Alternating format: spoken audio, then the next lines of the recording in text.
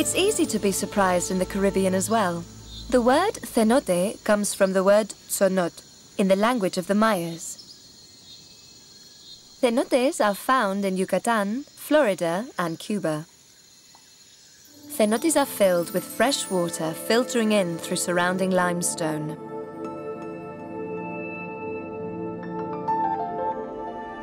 This is a cenote on the island of Cuba. It's connected to the sea by a series of caves. At first, the water was half fresh and half salty, but as time passed, it got less and less salty, and the creatures that inhabit it had to adapt. They are strange creatures indeed. This one is a Cubanichthys, but it's easier to call it a blind fish. These exotic fish live in permanent darkness. They have no pigment and no eyes, since there is almost nothing to be seen where they live. Not much is known about them.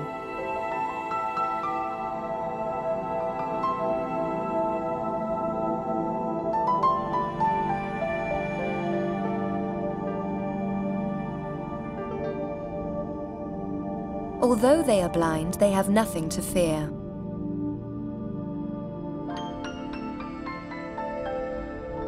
We do know that there are four species of blind fish.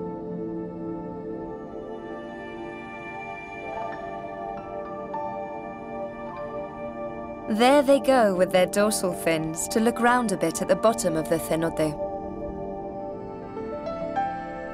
This is a shrimp, a delightful appetizer for the Cubanichthys.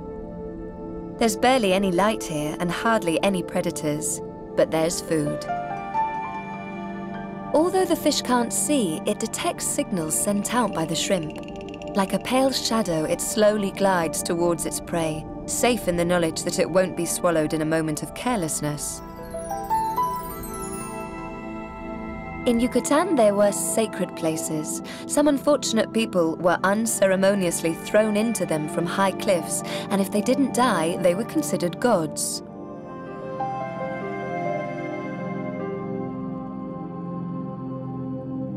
Today, they are great places for diving.